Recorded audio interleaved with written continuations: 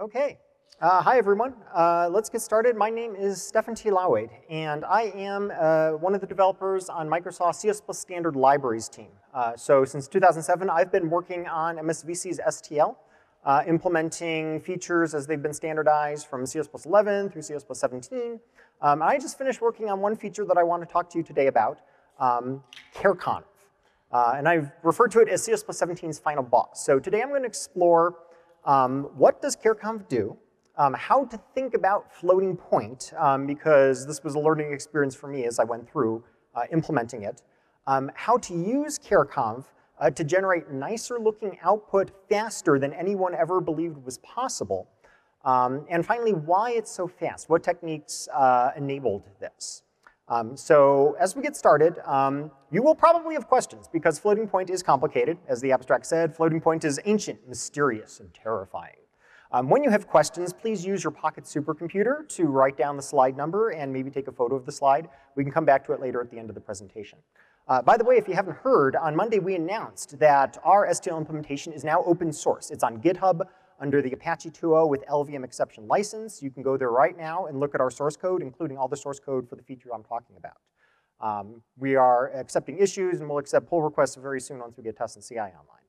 Um, another um, bit about the ground rule assumptions during this talk. Uh, I'm going to assume that float is 32-bit IEEE, double is 64-bit IEEE, um, and I am not going to talk about long double in this talk, uh, mostly because on MSVC's uh, platform, long double is the same representation as double, uh, which is awesome uh, for an implementer because that meant that we only had to do a 32-bit and a 64-bit implementation. Um, all, the all the techniques described here for charconv um, should generalize to 80-bit, 128-bit implementations elsewhere um, with more work. Uh, okay, so let's go back and think about why is it called floating point? Uh, you know, we've all used double and float as programmers, um, but why would we ever want to use floating point? Are there any alternatives? Um, so there's this notion of fixed point, which is actually simpler, although we don't have a fixed point type in the standard library right now. There might be one in the future. Imagine that you just want to store decimal numbers, no binary yet, um, and you want to store fractional numbers. So if you're doing that, you could say, okay, I'm going to spend um, five digits, and I'm just going to store that as an integer, and I'm going to store hundredths. So if I want to store one one hundredth, I can just store the integer one. Um, that gives you a fairly wide range. Um, here I've shown the extremes of range that you can store and very predictable precision. But what if you need more range? Then you could say, oh, okay, I remember scientific notation from school. Um, maybe I could spend like four digits on um, the actual you know, number itself and then maybe one digit on the exponent to multiply. And if you do this, you find that you gain a whole lot more range. You can store very tiny numbers because it comes from the exponent and very large numbers. Uh, and you don't give up too much precision, uh, but the precision becomes sort of variable. When you have very tiny numbers, you have lots of precision. And when you have very large numbers, um, you sort of lose precision. It's kind of variable. Um, so that's interesting, but the increase in range is often worth it. So now let's switch to the floating point that computers actually use. Now humans love decimal because we have 10 fingers, we count with that. Um, computers, though, they love binary. So if we want to store numbers in a way that can be processed by a computer quickly, we would want to store an integer times some power of 2. Here I've got an example, uh, 3.875. That number can be exactly represented um, as both decimal, you know, 3,875 times 10 to the negative 3, or as binary. That's just 31 times 2 to the negative 3, or 31 over 8. Um, so these are exactly representable, and I could just store the integers 31 and 3 appropriately uh, encoded um, to represent this number in a computer. Um, so we also use binary for integers. It's pretty simple. We don't have you know, the mathematical ideal of an integer. We can't store infinitely large integers. The range cutoff is kind of weird if you're not used to binary, but we all get used to it very quickly. Once we start using it for fractions, it gets a little more surprising because math. Um, the mathematical consequences of representing a number as an integer times a power of 2. So let's think about bases for a moment. Uh, think about base 7, which I've chosen as an artificial base. Nobody actually uses it. Um, if you think about the exact real number 1 over 7, it's you know a rational number, you can write that in base 7 with a terminating expansion. This is just 0.1 if your digit is 1 in base 7. Uh, but if you try to write that thing in base 10, you get an infinitely repeating decimal. Um, now, does that mean that base 10 is bad? No. 1 over 7 is infinitely precise. It just can't be written in you know, a finite decimal expansion in base 10. It's just because 7 and 10 have different prime factors. 10's prime factorization is 2 times 5. Neither of those are 7. So when you deal with mixing binary and decimal, um, it's not quite the same as base 7 and 10 because binary is base 2. Decimal is 2 times 5. So you get this one-way compatibility. Every binary fraction, some number times a power of 2, maybe negative, um, can be exactly written down in decimal. You write enough digits, eventually it's going to stop. But if you do the reverse, if you take some decimal fraction, like 0.3, you can't necessarily represent that exactly in binary. You might get an infinitely repeating binary fraction. Now, does that make binary bad or fuzzy or non-deterministic? No. It's just a different base. Um, so if you have a binary value, it's an exact real number. Uh, but what do you do if you want to start with a decimal number? Um, what if you have the decimal number 0.1, you're 1 over 10, and you want to get as close as possible as you can in binary? So if you use a 32-bit float, here I'm assuming you know the IEEE mantissa width and exponent, uh, we'll see about that later, the closest you can get is that number written up on the screen. And that's an exactly precise real number that can be represented in binary. Um, with double, you can get closer. Look how many more zeros there are before you start seeing non-zero digits. Similarly with 1 over 100, we can't get exact in binary because it's got that pesky power of 5 in there, uh, but we can get pretty close. I've included this as an example because it shows that the closest number in binary is not necessarily larger than the one we want here. The closest float is 0.00999999 bunch of nines before we get non-zero digits. Those digits are not garbage digits. They're just part of the value of the exact real number represented by the binary fraction. Maybe you wanted an exact decimal fraction, but if you're storing that in binary, you're going to get a slightly different value. You just need to learn to understand what's being stored.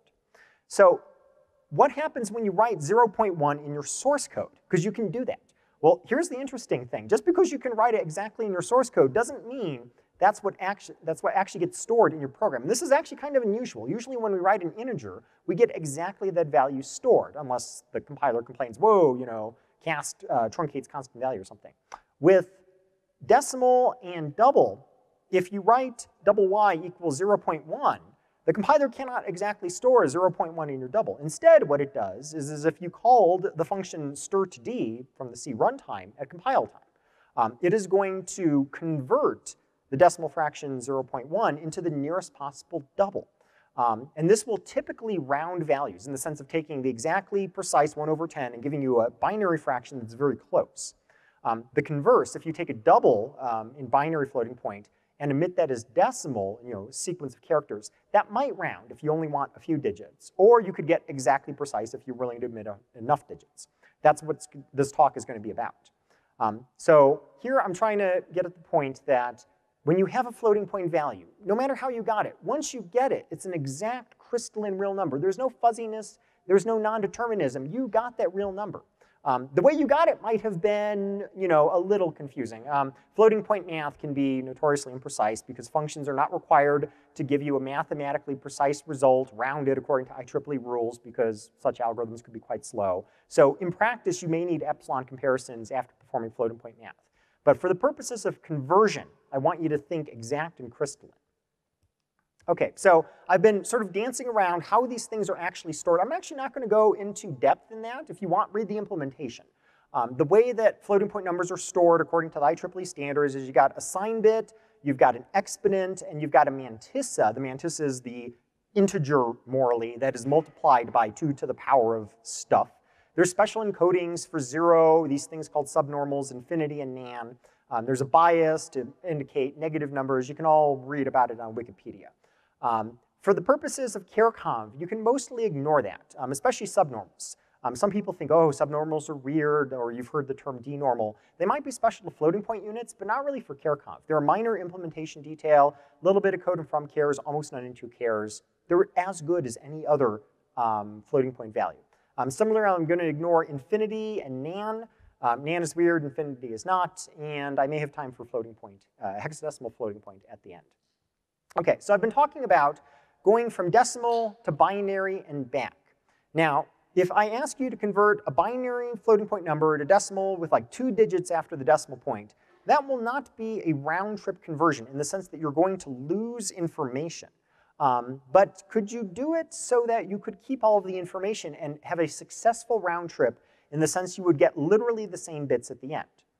So to think about this, let's look at the printf formats. We've all used printf. We've all used uh, probably a few of these formats, uh, but maybe we're a little rusty on exactly printf syntax and what it does. I certainly had to go read the C standard to get a refresher on this. So whenever I talk about fixed notation, um, it looks like 1729.531250. Um, it's going to emit a fixed number of digits after the decimal point, um, and the precision is configurable. It defaults to 6. You can also get scientific notation, in which it will print it out with an exponent. It always looks like, you know, one digit dot, a whole bunch of decimal digits, exponent, and then plus or minus stuff. Again, the precision is the number of digits after the decimal point. You can ask for this strange thing called general notation, um, which tries to be fixed notation, with a certain number of significant digits, but if the number gets too big or too little, it automatically switches into scientific to represent really small or really large numbers. This is actually pretty common. Um, it's a little strange that this precision is in a different sense. It's the number of significant digits uh, rather than the number of digits after the decimal point, but it turns out to be what people want most of the time. And you can also, since C99 and above and C++ 11 and above, ask for hex floats. A little bit of implementation variance there, interestingly enough. So you can also specify a specific precision after um, the percent sign. So if you say percent dot 2f, that asks for fixed point with two digits after the decimal point. So here I'm showing all of the things the printf would print here. Um, it's going to round my exact value, or exact real value stored as a binary floating point number to the given number of digits. Um, now you could ask for all decimal digits. The way I printed out those floats uh, a few slides back, you know, 0.100 and then a bunch of digits that are not garbage digits, um, is I use general notation. I just said percent dot 1000G. That asks for a whole bunch of digits and then zero trim them. Um, there's an, uh, you, you can actually calculate an exact bound for double at 767. Um, so that's how you can just get all the digits if you want. Um, so I talked about rounding. What happens when we round? In school, we're often uh, taught if you need to round decimal numbers, um, zero through four rounds down, um, five and above round up. Um, in the CRT, uh, the C runtime, and the STL, by default, we don't actually do that. We do something a little different called round to nearest tie break to even. Uh, this is configurable for the CRT. charconv actually always uses this mode. This is one of the things that makes it fast and simple. Um, and this means that in decimal terms, four and lower always rounds down, six and above always rounds up. If you have five exactly, five zero zero zero zero zero, then you need to look to see whether you need to round to an even digit or not. Um, this is also called um, banker's rounding, banker's division, um, because it avoids introducing bias by always rounding up or down. But if you have like five followed by a million zeros followed by a one, that has got to be rounded up because it's not at the midpoint exactly. That was responsible for a fun bug that we had to fix in the CRT and the STL. So I've got some examples of what rounding would do. There's a UCRT bug in this area that was recently fixed if you try this with MSVC. Um, but eventually that will go away. Okay, so I've been talking about how to get close to a floating point value. And I gave you the exactly closest number to 0.1 as a float.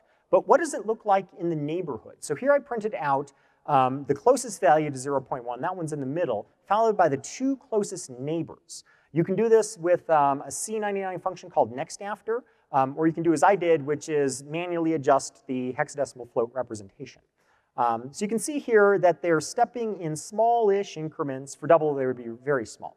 Now, if you look at these decimal representations, you'll notice that they all start off the same, you know, either 0.09999 or 0.1000, and then they become different. So these are the numbers at the top half. These are the exact real values.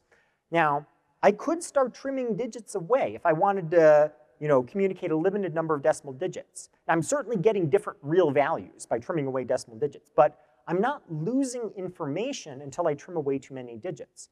Um, here at the bottom, I've shown how much you can round these values um, while still keeping them distinct to give you some idea of how much of these digits are not necessary. They're not garbage, but they're not necessary to retain all of the information in the original 32-bit float. Um, and you'll notice that the middle one, you can round all the way to 0.1 and keep all the information, because that is the nearest one. So um, if you are starting from a binary floating point number, like a float or double in memory, and you want to convert it to a string of decimal digits, um, like printf, Um, and then you want to convert back to binary. Maybe you're serializing to disk and then deserializing back to memory. And if you don't want to alter the stored value, you're interested in doing a round trip conversion. You can recover all the digits, and you don't need to write out all the decimal digits, um, which could be quite long. You can trim them. Um, so if you want to get the absolute shortest number, you need special algorithms. There's a whole history, um, which I'm going to get to. Um, and it has historically not been available via printf. Um, but it is mathematically determined. For a given binary floating point value, it's just a mathematical law given the rounding mode um, how many digits you can trim to get the shortest representation. There is absolutely nothing non-deterministic about that. Um, it's actually kind of interesting that there's any efficient algorithms to do this. Um, it's actually easier to get just a worst case, like, okay, maybe I can't trim away as many digits as I can, but you could tell me if I only print like 9 or 17 digits, I'm guaranteed to preserve all the information. Those are, in fact, the bounds for float and double. Um, so I've put there the uh, printf uh, format specifiers to exactly capture all of the information in a float or double as decimal. But these are the worst cases. Um, this is also reported by numeric limits, if you've ever wondered the difference between max digits 10 and digits 10. Okay, so what is interesting about shortest round trip uh, actually appeared on an earlier slide. If you start with a human-friendly decimal number, and by human-friendly I mean having a few number of decimal digits, if you then convert that to the nearest possible float, which you can do with things like strtod, charconv, or even just writing it in your source code, you'll get a close binary floating point value. I think of this as quantization, like of an analog signal. Um, then if you run one of these algorithms to give you the shortest round trip decimal, you will somehow magically get the number you started with. Why is that? So here, if you're going from binary to the shortest round trip and then back to binary, well, you started with 17.29, so of course that's the shortest round trip representation. It gave you the binary floating point value you started with. Um, so you'll get this human readable number back. And if you tried to use this worst case round trip precision, you would not get that. In this case, um, if you did percent %.9g with a float, you'd get 29.0009. This is why floating point values sometimes got a reputation for having garbage digits. But again, no garbage here. It's just math.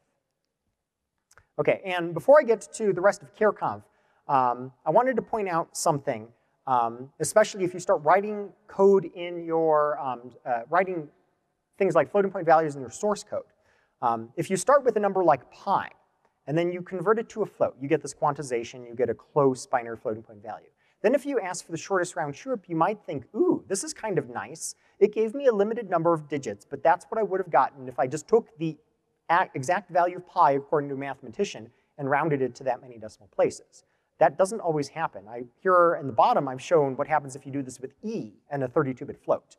You get a close float, and then if you get the shortest round trip, you do not get the number that you would have gotten by rounding the exact value of e to that many digits, because you had to go through the float in the first place. If you store a 32-bit float, it has no memory of the real number you wanted in your source code. So don't be surprised if you write the exact value of e up to you know, a million digits, and then you try to print it with shortest round trip, and it messes up a digit. It didn't get messed up. You're just limited by the precision in a float or a double. I'm actually interested if there are any cases where you have an exact real value, and then it gives you a float or a double um, that differs in some of the leading digits. But if, it if you had started with a different float or double and then did shortest round trip, you would have gotten something that was uh, further away from the real value and yet generated a nicer shortest round trip. Um, if you're interested in looking into that, um, come talk to me later. Um, I would just like it as a counterexample. Okay, so let's look at charconv. I've been talking about this new thing. What does charconv do for you? Interestingly, it's just a couple of function overloads um, and return types for them. Um, they're called from chars and to chars.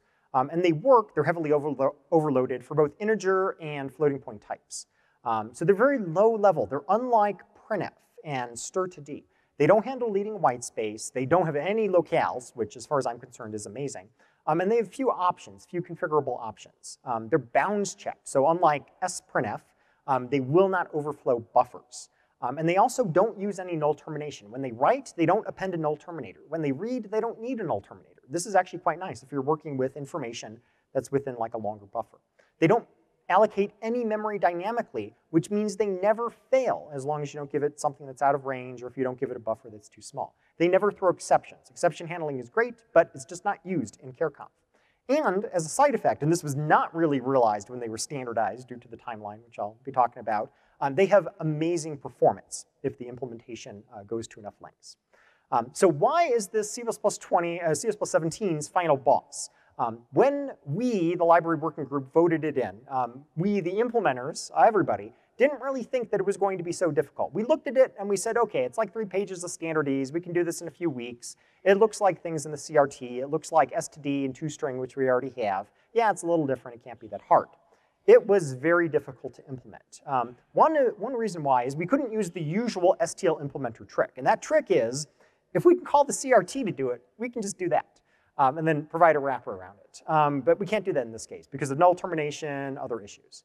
Um, there's also lots of corner cases when you start trying to write this from scratch. Um, from_chars has all, one, all sorts of wonderful corner cases um, that you would never imagine if you just looked at the, the problem definition.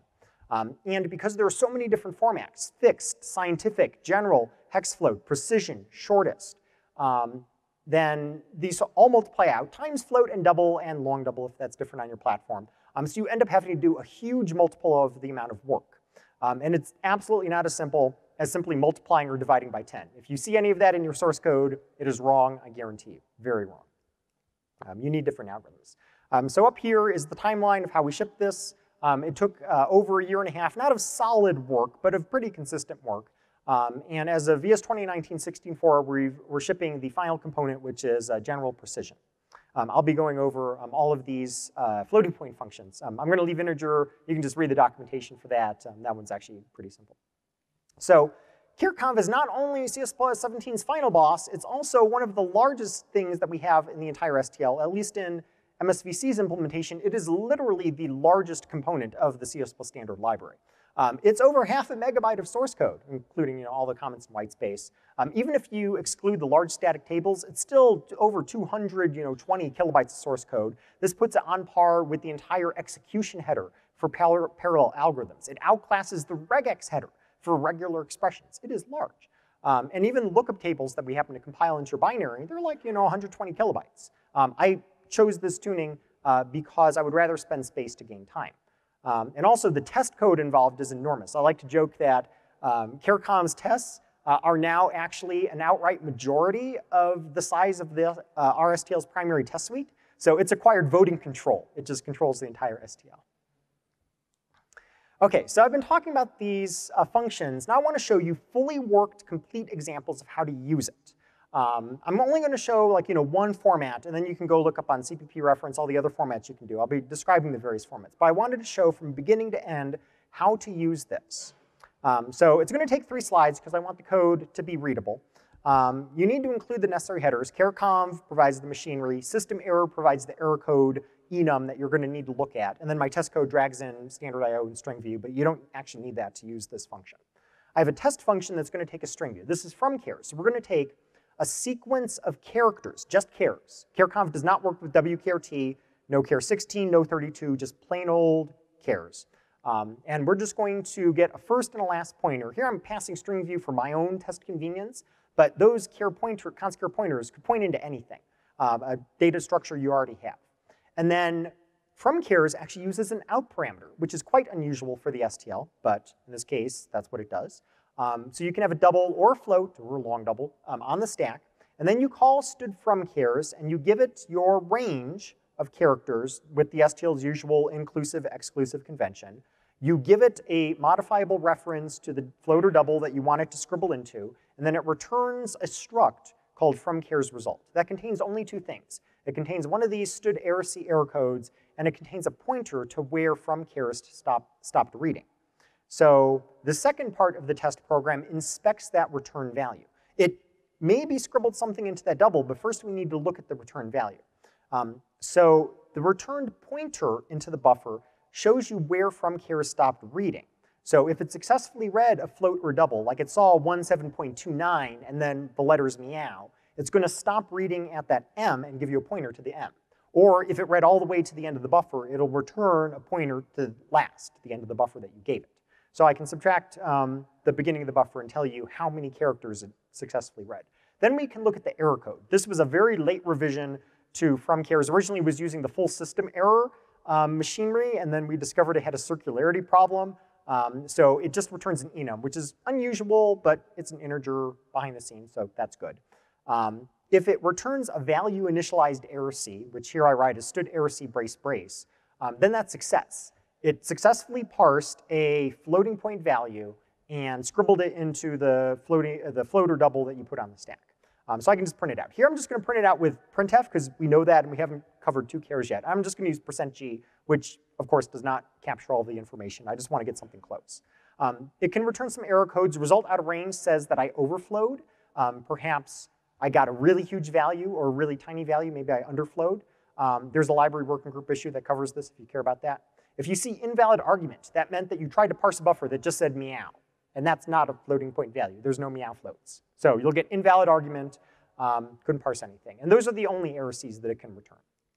So my final bit of test code is I'm just gonna um, throw some string literals um, at this, pass them to the string view. If I give it an actual floating point value, like 3.875, success, it's gonna be parsed. I'm gonna consume five characters, including the decimal point, of course. Um, if I give it a huge number, like 10 to the 9999, that is way too big for float or double. Um, so with the resolution of this library working group issue that I want to have happen, um, it's going to scribble infinity and return out of range to let you know that that happened. Um, and if you give it meow, invalid argument, go away cats. So that's from chars. Now, you can pass extra enums as, the, as an additional argument to from chars. It defaults to chars format general. This says that I'm going to accept um, strings that either contain fixed point, like 17.29, or scientific with an exponent. Uh, it won't accept hex float, though, if you know what that is. Um, unlike strtod, you can actually request from chars, hey, I know I'm going to have a fixed point value. Do not even consider an exponent. Um, or conversely, you can say, I'm working with data that I know to be in ex, you know, scientific form. So if you don't see an exponent, that's an error. Somehow I've truncated my data or something. So reject that. And you can also parse hex floats without an 0x prefix. So it's a little bit different interface than strtof and strtod, uh, but not significantly different. Okay, so now the flip side. Um, from chars, we were able to ship by taking our CRT's implementation, uh, dramatically reworking it to adapt to STL conventions, throwing away locales and null terminators and the ability to parse from file stars, um, and optimizing and optimizing. Um, and we shipped that um, in a few months. Um, to chars, though, took a lot longer, if you remember the timeline. So what does its usage look like? Does it look scary? No, I can actually fit it into three slides. So let's look at that. So if I want to print something with to chars, first I need to include headers. Again, I need to include care convent system error. Everything else here is for my test code. I want to demonstrate that I can print both floats and doubles. So I'm going to template my test function, but you don't have to template anything. If you just have a float or a double, you can just call to chars. The template here is only for my convenience and test code. Um, so my test is just going to assert that I'm only being called with floating point values, and I'm going to detect whether it's actually a float or if it's a double. Again, not necessary if you know what you're working with. I'm just writing a general test case. Um, then we, we're calling to chars. so we need a buffer to scribble into. Now, if you're doing shortest round trip, and if you say like 100, that's fine. Um, 100 is way more than enough than you need to do a round trip for float or double. I would need to do the math for long double. I think it's probably fine. Um, here I've actually written the exact bound, the exact worst cases that you can get for a round trip. It turns out to be 15 characters for 32-bit float, 24 characters for 64-bit double. So if you want a really small buffer, you can do that. Um, so I'm actually using an exactly sized worst case buffer here. And then we call to chars. This actually looks a little bit like from chars. Um, we give it a first and last pointer to the buffer that we want to scribble into. Again, just char, no wchar, none of that. And then we give it the floating point value, either float or double, um, that we want to print. And then it returns a struct two care's result, which, surprise, also contains two members. It's an error C and a pointer. Um, the error C is a success code. And if it returns a value initialized error C with you know, brace brace, then that's successful. It was able to scribble your floating point value into the buffer, shortest round trip form decimal, and the returned pointer in that struct tells you how many characters were written. So here, or one past, you know, the last character that was written. So here I subtract pointer minus buff, that tells me how many characters were written. The static cast is purely for printf's uh, usage, not for um, charconv itself. Of course, that's a ptrdiff_t. Um, otherwise, if I got value too large, that's the error code that says you gave me a buffer that was too small. You gave me a buffer of like five characters and I needed to print, you know, 12345.6789, and that would overflow. So in that case, the content of the buffer is unspecified and it returns an error. And that's the only error code you can get out of uh, to_chars, no other error codes. So if I print a couple floating point values, here I've written um, a float and a double with their exact forms. So yes, they're going through the compiler strtod, but they're not actually being modified in any way. Um, the shortest round trip form of these, unsurprisingly, if you look at the numbers, is 17.29 for that float value and 1.234 for that double value. Um, so charconv is doing something very special here.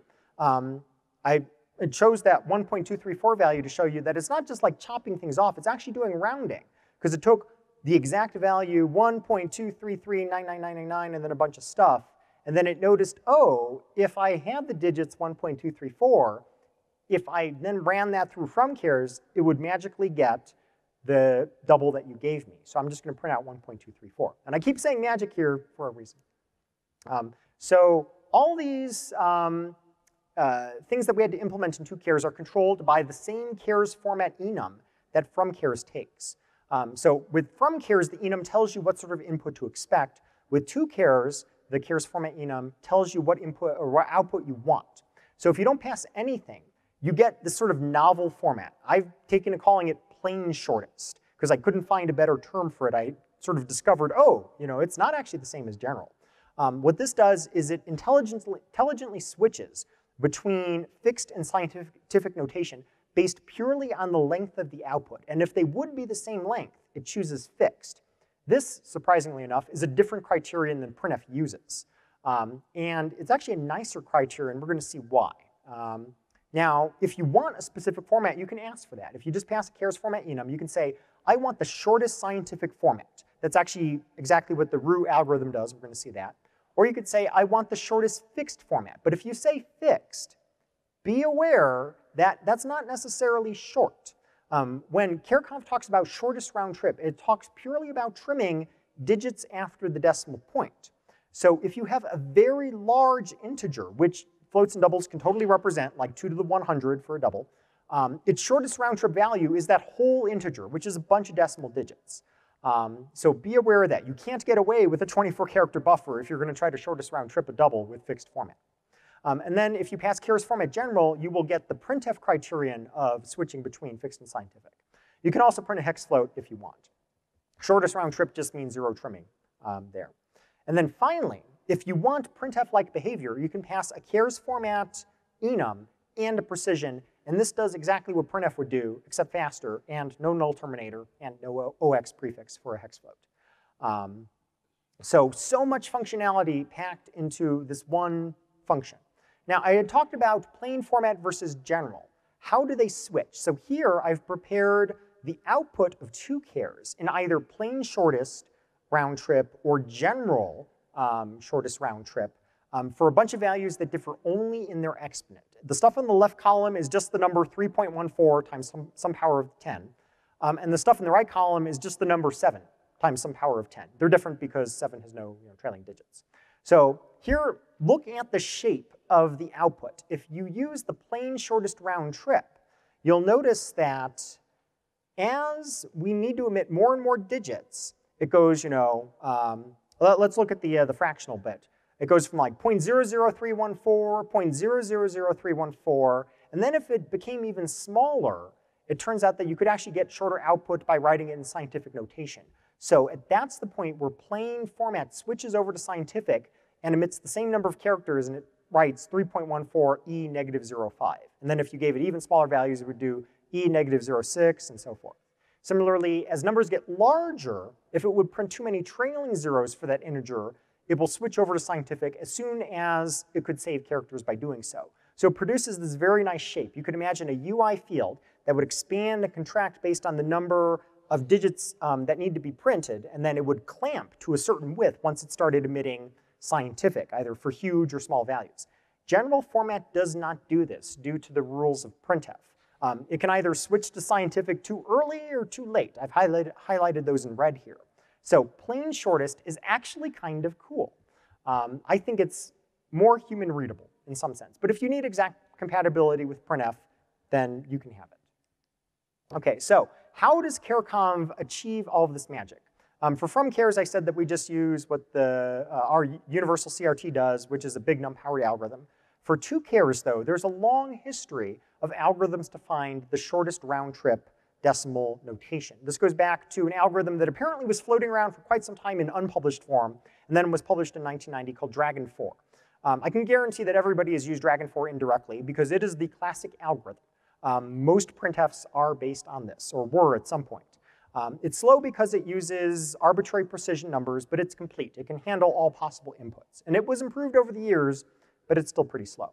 Um, newer algorithms came out in 2010 and 2016 that had various issues. Um, either they were incomplete, meaning they handled like 99.5% of values correctly, and then they detected that they needed a fallback algorithm like Dragon 4, um, or um, they were not quite as fast as the alternatives. Um, then something amazing happened, and this was actually about two years after charconv standardization. charconv was voted into the standard in 2016. This algorithm came out in 2018. Um, there's an engineer at Google named Ulf Adams. Um, he actually works on Google's build system, uh, Bazel. Um, and apparently, as a hobby project, he single-handedly revolutionizes floating point printing algorithms. Um, it's absolutely, he's an impossible wizard, absolutely unbelievable. Um, and he published this algorithm that he called Ryu. Um, and it supersedes everything else for printing. It is the fastest known algorithm, and it is complete. It handles everything. So as a standard library implementer, I was overjoyed when I realized this, because all the alternatives either needed an infinite precision, you know, arbitrary precision integer, which we don't have in our standard library, um, and you know, we couldn't uh, you know, easily create one. Um, or they needed you know, something um, that was not quite as fast as the alternatives. And I wanted you know, both speed and ease of implementation. Um, Ryu turns out to achieve everything. Um, so what techniques power Ryu? Now, this is interesting because I worked with it for about a year. I still do not understand the core magic behind Ryu to a level that I could write the algorithm from scratch. I believe I understand enough to modify the code that it uses without damaging it. Um, and I uh, committed a bunch of um, optimizations um, that Ulf Adams accepted um, upstream um, and uh, a few bug fixes, things like that. Um, but the actual magic behind the algorithm, I've read his paper, I've watched his talk, and I still have not quite internalized it. I hope to in the future. Um, so until then, um, please read his paper and his code. It's on GitHub. Um, and watch his talk. There's a link um, in the uh, end of this slide. but I can tell you at a high level what Ryu is doing. Um, it's doing a conversion between binary and decimal. And decimal is, you know, the number 10 is 2 times 5. So you end up if you do the math, with a bunch of powers of 2 and powers of 5. Um, and uh, Ulf Adams proved that you don't actually need to do this with infinite arbitrary precision. You can actually just use a wide-ish multiplication, like a 64-bit times a 128-bit number, and then shift it to the right a bunch, and essentially lose the lower bits, and it actually doesn't change the correctness. He has a very neat explanation of this. Um, so he generates a bunch of constants that are stored in large constant tables um, in MSVC, they're just inline constexpr tables, no initialization at all. Um, and then we just do wide multiplications using various intrinsics. Um, after this, and some loops to trim digits, um, and I'm massively you know, simplifying his amazing algorithm here, um, you end up with an integer. So if you started with the number 17.29000, um, and then your number other digits, which are not garbage digits, um, Ryu will figure out that the shortest round trip is an integer 1729 times the decimal exponent 10 to the negative 2. So it takes that integer, it converts it into characters, and it figures out the right place to put that decimal point, and it's done. And it actually turns out that the final step of taking that integer, 1,729, and decomposing it into characters, which any of us could write, um, is actually one of the slowest steps um, because the core algorithm is so fast. So we were able to get um, significant wins just by speeding up that step. Um, you have to do things like you know, modulo 100, modulo 10,000, special cases for 32-bit and 64-bit. Um, and that actually turned to be, out to be one of the best places to optimize Ryu because the core algorithm is so blazingly fast. Another interesting thing about this is that after reading the IEEE uh, representation and doing bitwise arithmetic, you know, bitwise shifts on it to extract the exponent and the mantissa, it never actually does any floating point operations at all. There's no floating point multiplication, addition, subtraction, division, none of that. It's all integer operations, shifts, uh, multiplications, things like that. Um, so your floating point unit will be completely cold um, when you use Ryu, which is interesting. There's a related algorithm called Ryu-printf. This was developed in response to a tweet. As I was um, uh, finished implementing uh, shortest round trip decimal, I had to implement um, the precision form of to_chars, and I was looking at that, and Ryu itself was not directly applicable to precision. So I tweeted, and I said, wow, you know, uh, actually this was even earlier. It was when I was doing um, fixed shortest, which actually has to fall back to something, because if you print a very large integer, Ryu is not directly applicable. Um, so you essentially need to do printf with zero precision. So I tweeted about this, and amazingly, Ulf Adams uh, read my tweet and said, huh, I bet you I can do better than that. And he developed a second novel floating point algorithm doing better, better than anybody else in the world has ever done for printf. The history of algorithms for printf, as far as I can tell, is the original you know, implementations basically use big nums, and then Ulf came along in 2018 and generated Ryu Printf. As far as I can tell, there are no algorithmic adva advances in the middle. If anybody knows better, then please correct me. Um, unlike the Dragon 4 history. Um, so he's done better than printf ever did, and that's actually why charconv is fast across the board because it switches between Ryu and Ryu Printf. Um, he's absolutely amazing. Thank you, uh, Ulf. So there's many performance tricks on top of Ryu and Ryu Printf that charconv needs um, because of all the formats that it needs. Um, so as I mentioned, if you're doing shortest round trip for an integer, there needs to be a switch, um, which I implemented with a lookup table to determine uh, when Ryu would actually chop off digits for a large integer, and then we switched to either long division or Ryu Printf. Um, general precision, which was the final, final boss to be implemented, um, uh, needs to do this thing, uh, if you read the C standard, trial formatting, where it needs to think about what would the scientific exponent be if I printed, in, printed it in scientific form and then make decisions based on it. Um, I looked into our CRT's code, which uses um, you know, trial formatting for general precision printf, and it just actually does the trial formatting. It prints into a temporary buffer and then looks at the exponent. And I was like, okay, I could run um, twice, you know, worst case, um, but that would be, you know, slow even though Ryu Printf is fast. And what if the buffer isn't big enough? What if the user gives me a number that the scientific form would actually overflow the buffer, but the fixed form wouldn't? Um, and eventually I came to the realization I could use a lookup table to figure out what that exponent is without actually doing the trial formatting. Um, it's not a super amazing idea, but uh, it's certainly novel in our world in the UCRT. I'm wondering if any other implementations use this lookup table.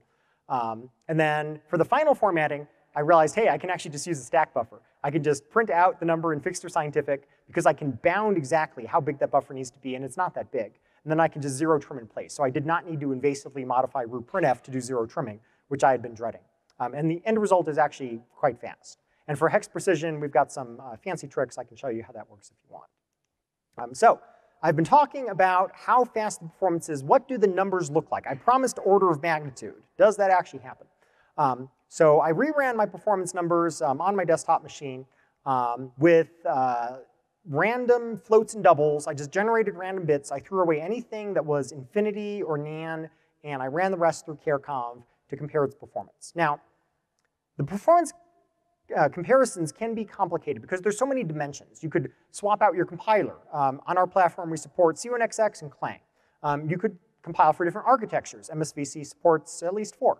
Um, we want to compare our CRT versus the STL, the float versus double type, and all these different formats, um, and also you know shortest and precision. So there's going to be a lot of numbers on the following tables. Um, I'm going to highlight the speedups because those are the interesting ones. The raw timings, all of these are nanoseconds per floating point value. Um, some of them are large for the CRT and short for the STL. Um, and in some cases, I need to sort of compare not apples to oranges, but apples to pizza because the STL's shortest format is not exactly, uh, can't be exactly replicated in the CRT. So I compare CRT, round trip, you know, worst case precision. Um, close enough. And for fixed precision, I just say, okay, I'm going to compare something lossy. So let's look at from chars. Um, here, this is the table of timings, nanoseconds for the CRT and the STL um, for both x86, which is 32-bit, and x64. That makes a big difference. We'll see why. Um, and then the speedup ratios. And the speedup ratio is just old time divided by new time. So if you see a speedup of two there, that means twice as fast. Speedup of three means three times as fast. Um, here, from_chars achieves eh, about you know a 37 to you know 2 point or 37 percent um, to 2.89x uh, perf improvement, depending on if you're using scientific notation or hex. and float versus double. And for x64, the speedups are roughly similar. Um, scientific is you know, maybe 19 to 28% faster, and hex is a lot faster. Um, some of this speedup in from from_chars, because they're using the same algorithm. I said that I started with the UCRT's from_chars algorithm, which is powered by BigNums. The speedup is really powered by not using locales, using a lookup table to parse digits, um, uh, not switching between file buffers and memory, because charconv is entirely in memory. Um, so in principle, much of this, well, some of this could be backported to the UCRT, and I've been talking to um, the UCRT team about um, bringing some of this improvement there. Um, for printing, the speedups are indeed massive because of this algorithmic, algorithmic improvement from Ryu and Ryu Printf. So for the precision form, this is Ryu Printf, um, and this is where you can exactly compare the CRT to the STL. The speedups for x86 or x64, depending on the, no, uh, the notation being used, range from you know 4.5 around that neighborhood up to you know 12 or 13 times faster.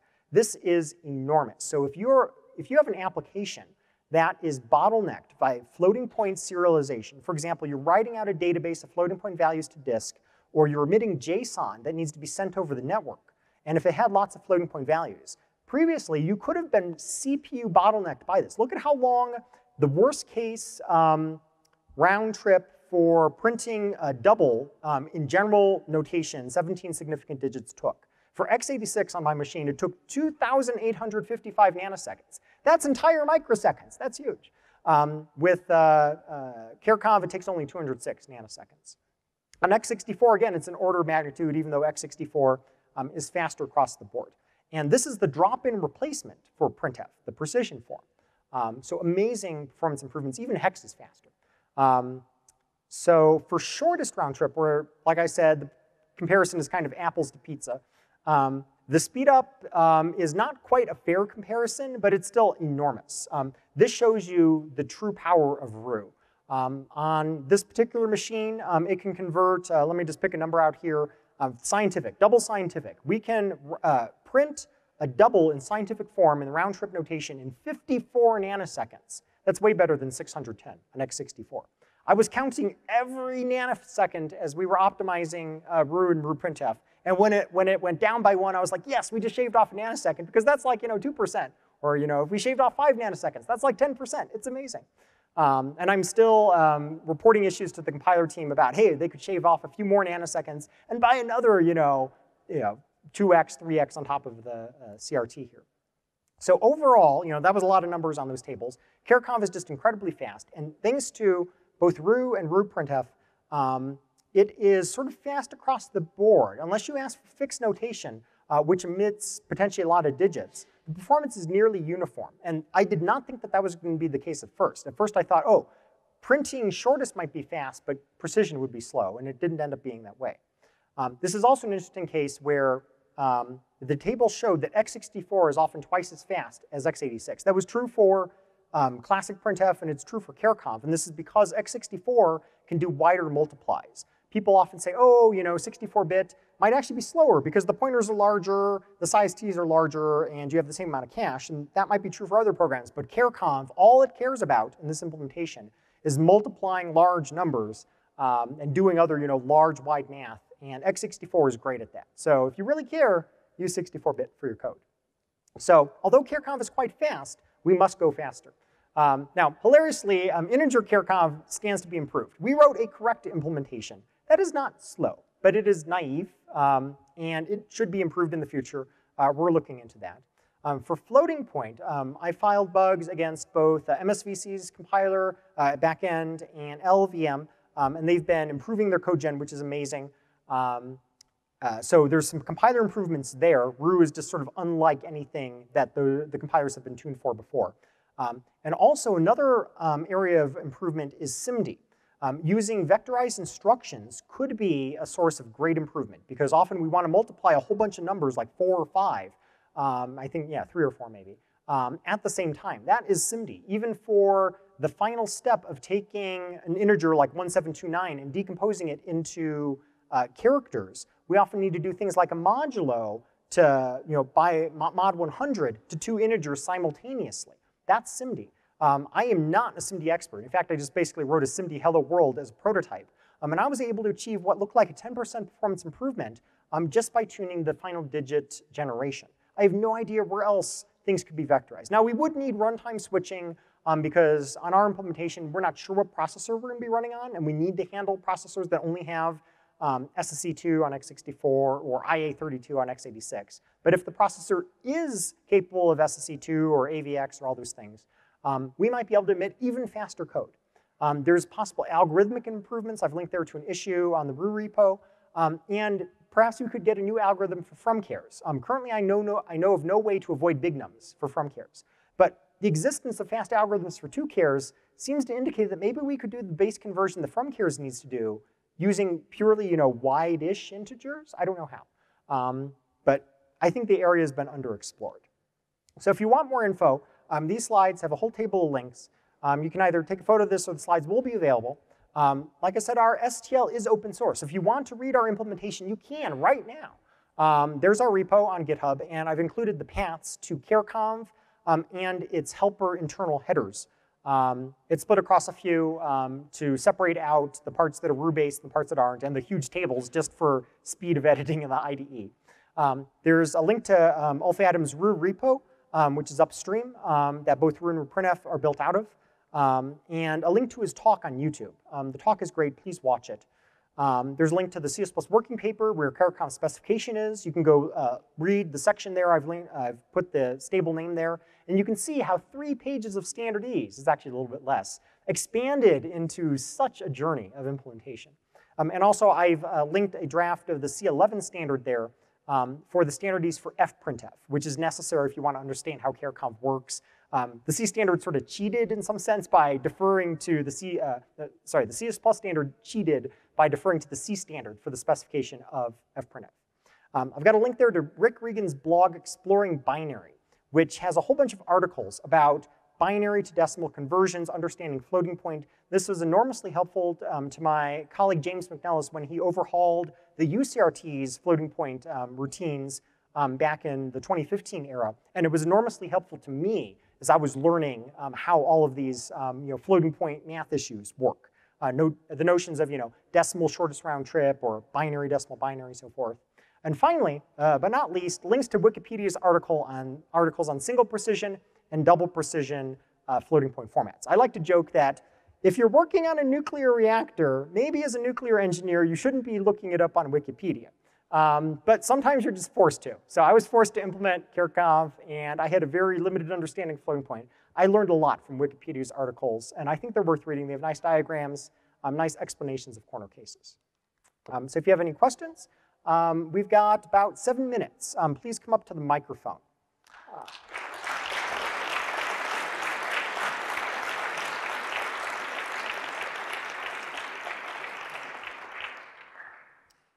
Thank you for your work.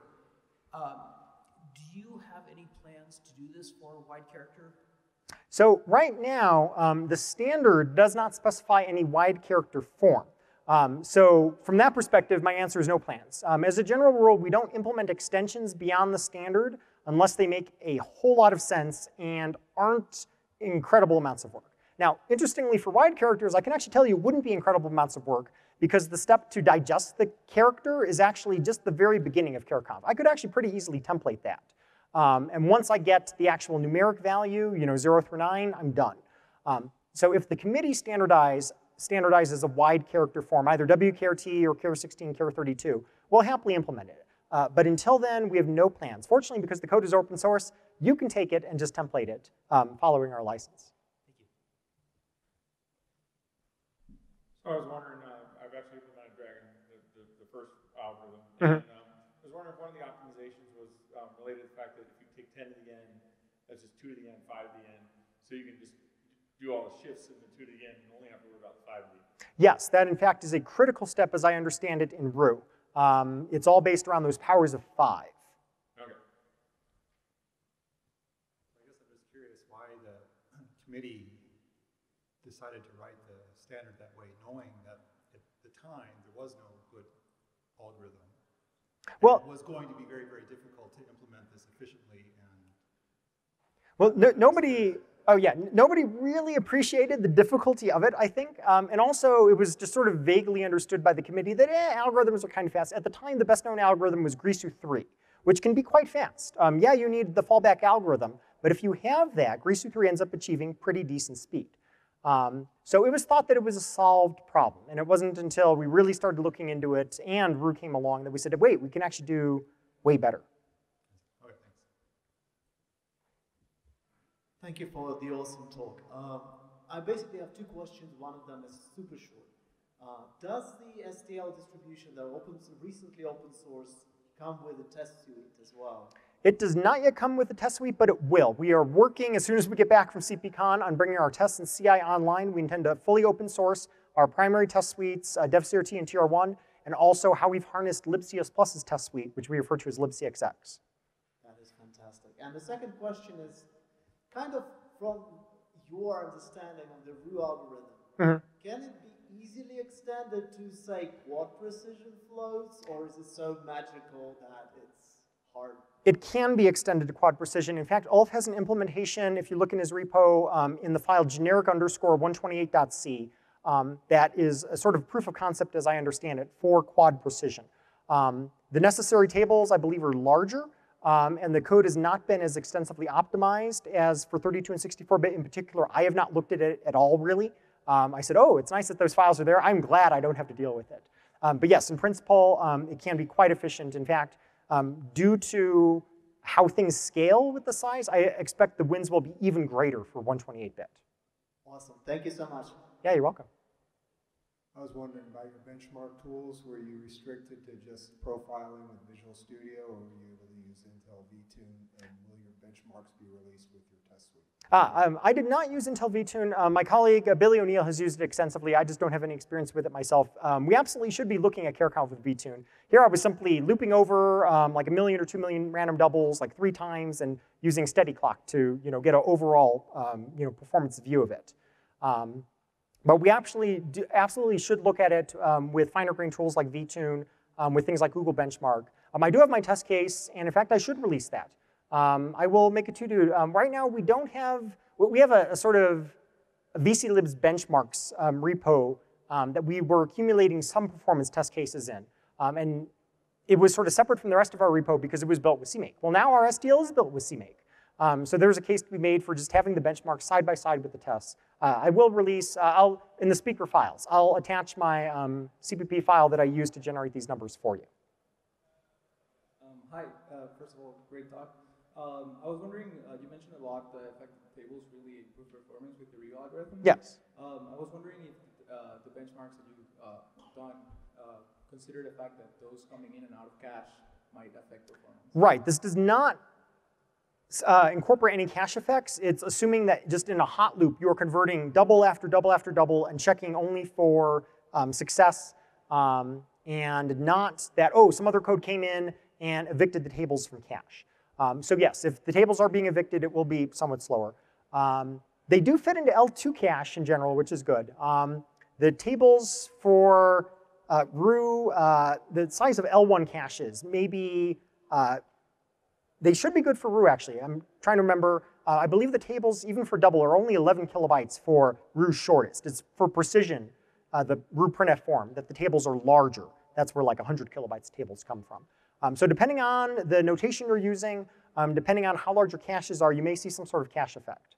Um, there are um, options in upstream Ryu, uh, which uh, uh, Ulf Adams called Ryu optimized size, that uses smaller tables, very small, um, but at the cost of runtime performance. I chose not to activate that option, but that could be something that could be valuable for you. Um, if it matters to enough people, we could even consider adding such modes to our standard library um, because it wouldn't pose ABI compatibility concerns. Uh, it would be a, some, eh, a moderate amount of work to do so. So we're really interested in feedback from the community.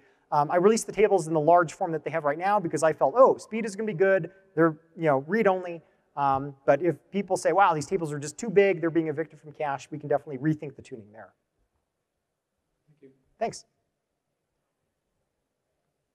So when you uh, look at these slides, I got 40 seconds left. Um, at the back here, there are some bonus slides for you to read. I'm just going to flip quickly through them.